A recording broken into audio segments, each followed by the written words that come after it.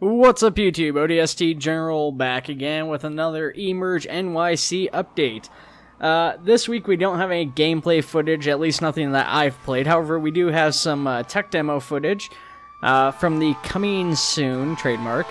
Uh, tech demo where you're going to be able to drive around town and stuff.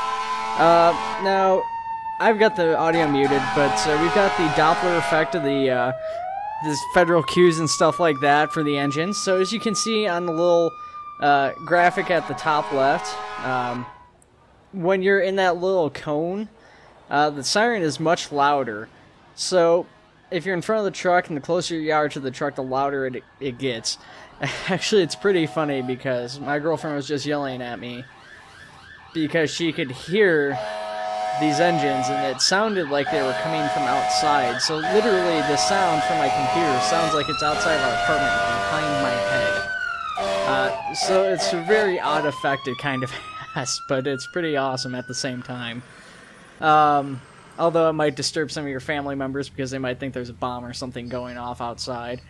Um, we've also got uh, cloth put into the game, so you can see the tarp a little bit is waving uh, a lot more noticeable with the flag, which has been added to the engine.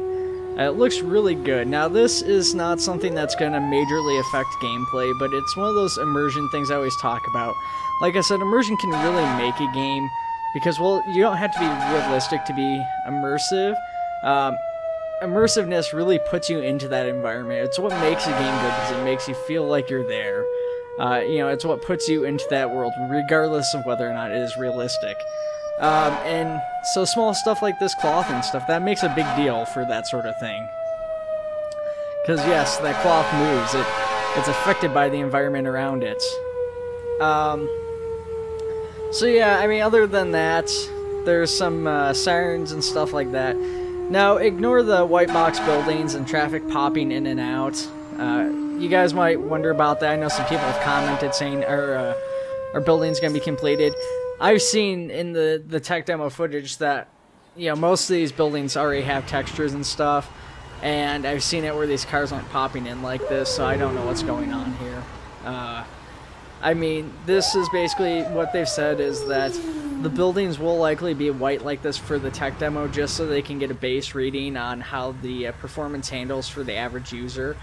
Um, to see how the game actually plays in more of a minimal setting where you know you're not going to have a whole bunch of building textures and stuff that you're going to have to try and generate just so they can see where the game's kind of going from there. Uh, so as you can see, there is, at least from what I seem to see, there's a little bit of stuttering here and there, uh, but that doesn't necessarily mean anything. Uh, I know this is a sh short update, guys, but I hope you enjoyed it, and uh, I will see you around for more soon.